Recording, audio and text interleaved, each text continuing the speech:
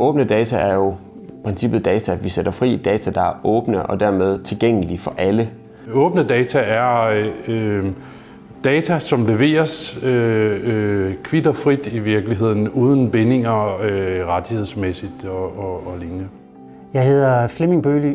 Jeg stiftede virksomheden Blue Idea for ni år siden. Jeg er ejer og direktør. I Blue Idea har vi udviklet en sms-kommunikationsplatform, som gør det muligt for landets kommuner og energiselskaber at kommunikere til deres borgere og deres forbrugere.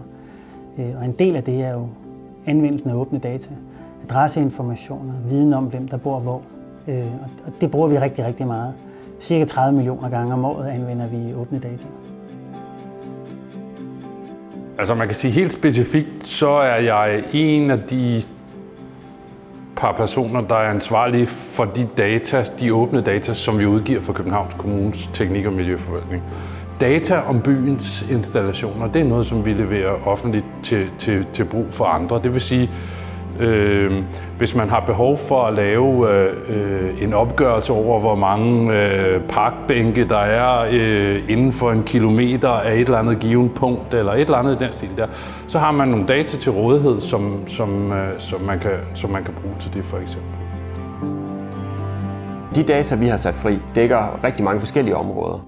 Vi har et kommunekort, et øh, sådan socioøkonomisk kort, som vi har, der hedder Hedensted-kortet, som omfatter øh, vores befolkning, vores befolkningsudvikling, alderssammensætning, øh, hvad hedder det, statsborgerskab, sammensætning, beskæftigelsesstatus, øh, virksomheder i kommunen og sådan nogle ting der.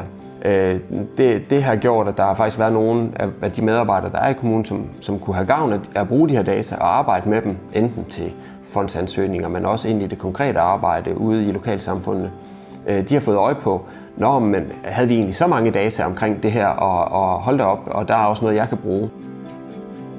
Ved at gøre brug af åbne data, gør vi det endnu lettere for alle afdelinger i en kommune, alle forvaltninger i en kommune, at komme i kontakt med borgerne, når forskellige situationer opstår. Det, som vi har set ske, det er, at når vi udgiver åbne data til vores portal, så bliver der også en større opmærksomhed om dem internt i vores egen organisation. Og det er en af de store fordele, vi ser ved åbne data. Når vi snakker data, så er volumen øh, og standardisering bare nøgleord. Og det er måske der, hvor vi har det største arbejde at gøre stadigvæk. Øh, fordi at, øh, at vi mangler at få, øh, få de sidste kommuner med, for at det bliver rigtig interessant, tænker jeg.